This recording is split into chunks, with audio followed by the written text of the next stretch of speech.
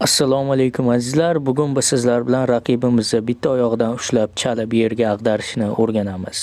Qani ketdik.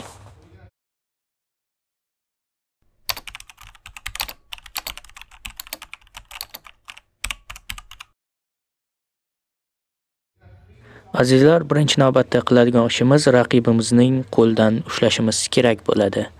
Va raqibimizni qo'ldan ushlaganimizdan so'ng uni gavdasini oldinga tortishimiz kerak.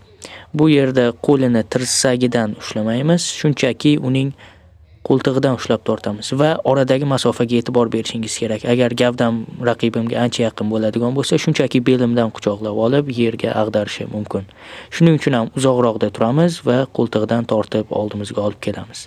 Mana shu bizga kerakli vaziyat, ya'ni uning oldi oyog'i meni oldi oyog'imni oldida turishi. Va keyingi navbatda yana bir narsaga e'tibor bering. Meni oyog'im uni oyog'ini orqasiga haddan tashqari o'tib ketmasligi kerak. Agar shunaqa ko'tarib oladigan bo'lsam, ba'zilar shunaqa qilib olishadi. Raqibim o'zimni ag'darishi mumkin. Shuning uchun shu narsaga e'tibor beramiz. Shuning uchun bitta oyog'imiz orqada gavdamizni to'xtatib turish kerak.